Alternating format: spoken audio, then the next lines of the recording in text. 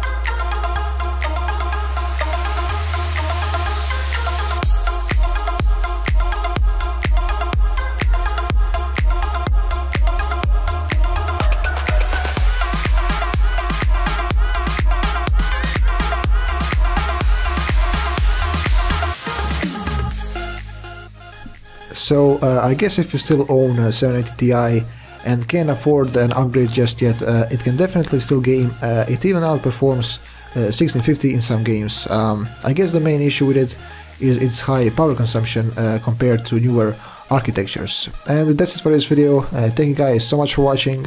Like, subscribe, and see you in the next one. Hopefully.